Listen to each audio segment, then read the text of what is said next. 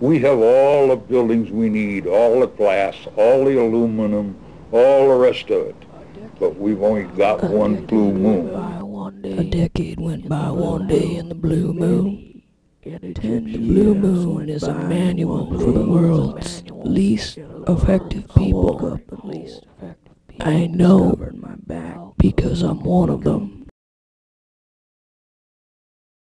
In the 50s and 60s, the tavern was a mecca for Seattle's thriving artistic community and a popular watering hole for visiting literary lines like Dylan Thomas and Allen Ginsberg.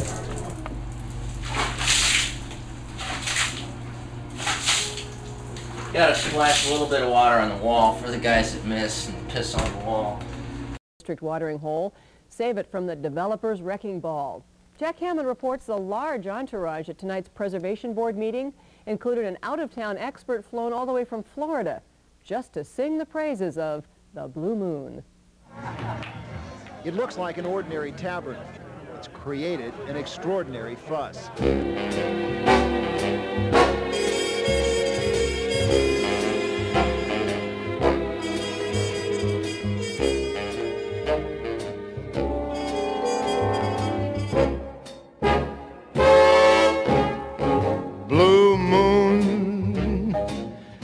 You saw me standing alone without a dream in my heart. Without Uh, there've been poems written in here, stories that were so bad, it's unbelievable. and there were some written that were so good. An earful of testimony about the idea of designating the Blue Moon Tavern as a cultural landmark. This was the last chance for public comment in an ongoing argument. And as Barbara Matt reports, the argument goes on. When the poet Theodore Roethke found out that he'd won a major literary award, it's said he announced, to the moon, and took his class off to celebrate. In the early 70s, Tom Robbins, an ardent defender of the tavern, found inspiration at the Blue Moon for parts of his novel, Another Roadside Attraction. Marijuana and other drugs replaced politics and art in the late 70s, but in 1982, new owners threw out the drug dealers, refurbished the tavern, and turned it around.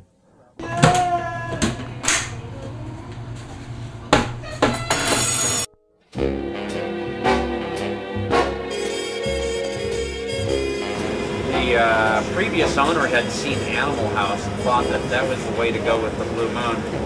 And so uh, every bar stool was broken and thrown in a heap in the back in the alley.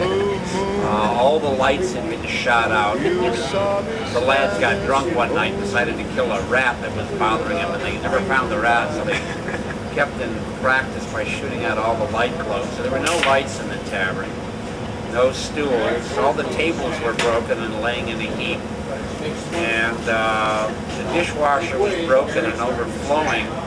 And the, uh, the floor sink was plugged, so there was raw sewage running out the front door. Uh, the roof leaked so badly that a few customers that came in sat underneath umbrellas at the bar. The bartender had to wear uh, rubber boots to keep her feet dry from the sewage running across the floor.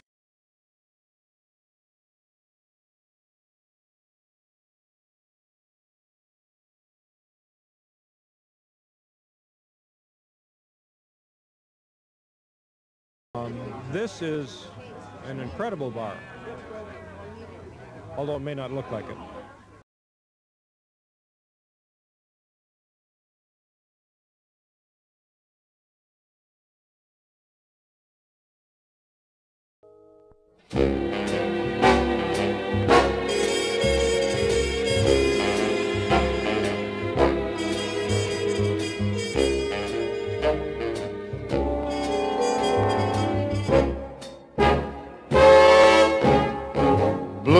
Moon, you saw me standing alone without a dream in my heart, without a love of my own.